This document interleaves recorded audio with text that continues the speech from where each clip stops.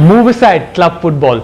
For the next month or so, international football takes over as Russia hosts the World Cup for 2018. At Sportskeeda, we're here to provide you a squad update for all of your favorite teams. And this time, we look at one of the favorites, Spain. The team will be led by a new head coach and will look to repeat the heroics from 2010 when they went all the way and won their first World Cup. First up, the goalkeepers.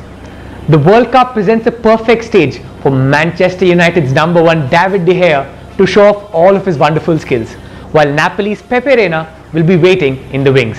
We rate their goalkeepers 9 on 10. Let's look at the defenders.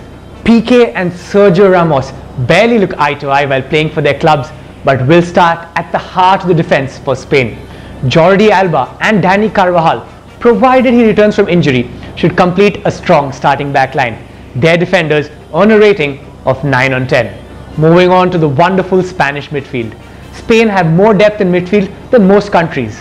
It will be one final hurrah for the hero from the 2006 final, Andres Iniesta, while Isco, Asensio, Thiago Alcantara, Koke and David Silva, amongst others, complete a fearsome midfield. Their midfielders get a perfect 10 on 10. And finally, the forwards. Spain have proven in the past that they can field a fluid system with no true centre forward. With that said, Atletico Madrid's Diego Costa, Real Madrid's Lucas Vazquez, Celta Vigo's Iago Aspas and Valencia's Rodrigo Moreno also find spots in the squad. The forwards get a rating of 7.5 on 10.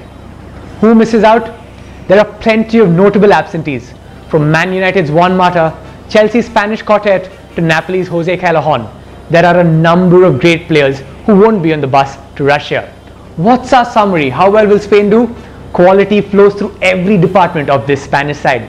At one end, they have arguably the best goalkeeper in the world, David De Gea, and at the other, young starlets will hope to feed off the experience provided by Ramos, Piqué, Busquets, and Iniesta to inspire the La Roja to another World Cup win. What do you think of Spain's chances? Let us know in the comment section below. And tune into Sports Sportskeeda for more action from the World Cup. This is your host Kaushal Raj signing off. Have a wonderful day.